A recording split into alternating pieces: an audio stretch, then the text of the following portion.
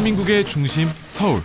아름다운 한강이 감싸고 있는 노들섬에서 펼쳐진 한 아세안 Music Festival ROUND in Korea. 이번 공연의 MC를 맡은 저 고영배와 함께 ROUND Festival의 무대로 가보실까요? 공연을 앞두고 모두 분주한 모습들인데요. 이번 공연은 한국과 아세안 모두 11개국의 아티스트들 그리고 관객들까지 온라인으로 함께하는 자리입니다.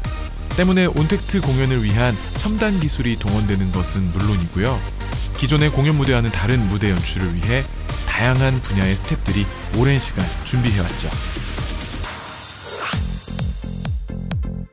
코로나 팬데믹 상황에서 치러지는 공연인 만큼 입구에서부터 2중, 3중에 거치는 발열 검사와 소독, 스탭들은 물론 출연자들까지 방역 수칙에도 철저했습니다.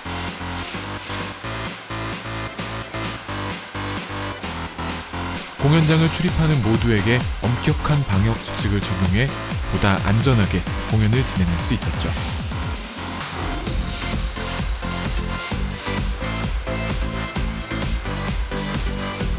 본 공연 전 리허설을 준비하고 있는데요. 실시간으로 우리나라는 물론 아세안 10개국 관객들과 함께하는 공연인 만큼 리허설임에도 긴장감이 가득합니다. 완벽한 무대를 위해 집중하고 있는 모든 스태프들의 모습 새삼 멋지네요. 이번 공연을 함께할 온라인 관객들입니다. 얼마나 많은 분들이 와주셨을까요? 와, 360도 무대를 모두 꽉꽉 채워주셨네요. 이번 페스티벌 시작이 좋습니다. 저와 제이미가 함께 축제의 막을 열어봤는데요. 한국을 대표하는 다양한 장르의 뮤지션들이 무대에 올랐습니다.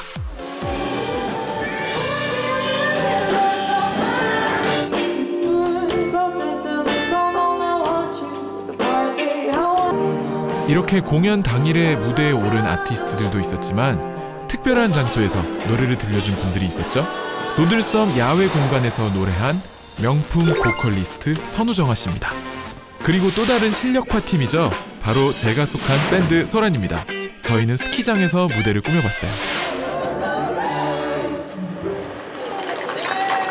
직접 만날 수는 없었지만 팬분들의 응원 소리를 들을 수 있다는 것만으로도 행복한 시간이었습니다.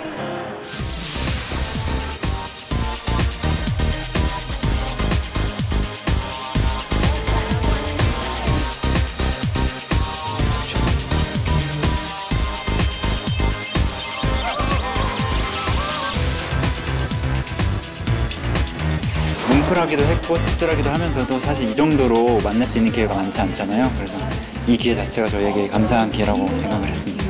와 역시 음악은 만국의 공통 언어라는 뭐 이런 얘기도 있잖아요. 근데 진짜 그런 걸 실감할 수 있어서 너무 좋았습니다. 어, 저는 굉장히 강한 어떤 걸 느꼈는데요.